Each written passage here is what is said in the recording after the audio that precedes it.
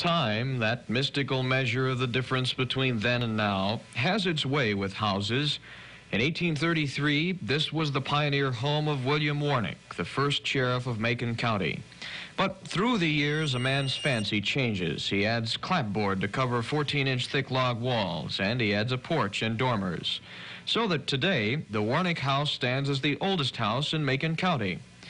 The Warnick homestead grew from 40 acres in 1824 to twice its size, 80 acres 10 years later, a tract of land south of the Sangamon River in what has now become Macon County.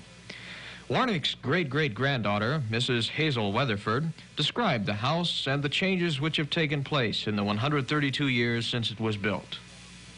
The original four log rooms are still there, and that was the way it was at that time. And then as it from generation to generation. It has been, oh, what you'd say, remodeled, and the weatherboarding put on, and it's been plastered. But on the inside, the plastering is off, and you can see the log rooms. There's four of them, pretty good-sized rooms. The house is less than three miles from the home in which Abraham Lincoln lived with his family for a year before moving on to New Salem near Springfield. During that time, he became friends with the sheriff and received his first exposure to the law while reading in Warnick's extensive collection of law books. The home also played an important part in the development of early Illinois.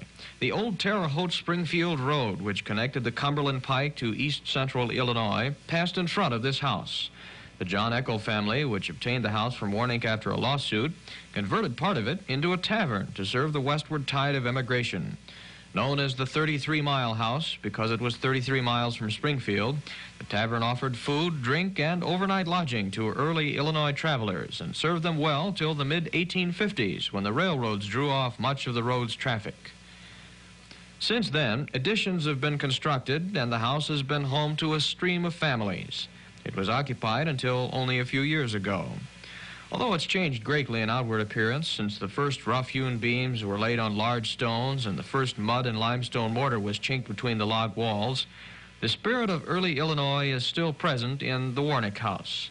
Now there is renewed hope the house may be restored to serve as a tribute to the early settlers of central Illinois.